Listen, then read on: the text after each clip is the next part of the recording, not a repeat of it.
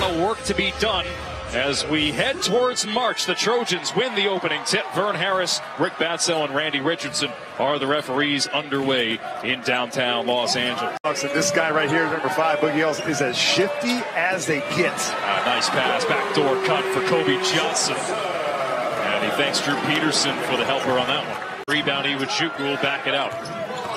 Johnson right down the lane. Late dish for Iwuchukwu. And the big man, who has become a fan favorite, throws it down. Peterson to bring it up. Ellis fires and connects from deep. Couldn't get it to drop. Boogie Ellis racing up court. Long feed. Oh! Tre White!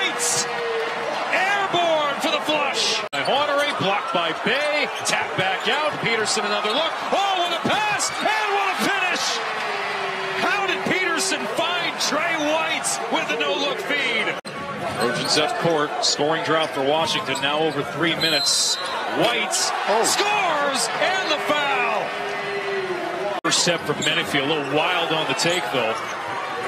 Peterson up court. Numbers for the Trojans. Thomas to the rack.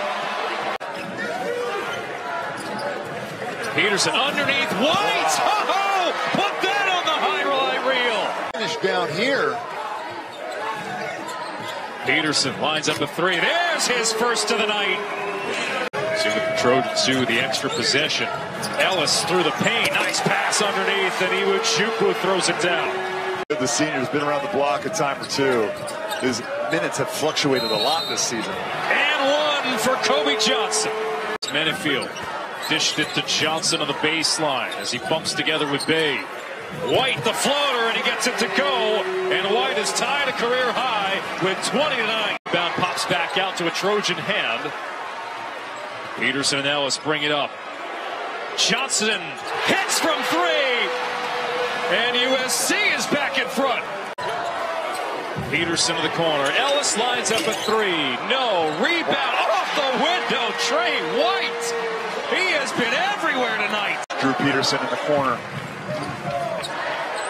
Johnson lines up a three and extends the lead for SC. Corner, he's bumped and he coughs it up. Here's Bey underneath, stripped by Johnson.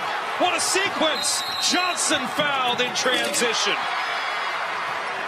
Oh, if you're a Washington Huskies fan, another success for USC. Their fourth straight victory. They beat Washington 80 to 74.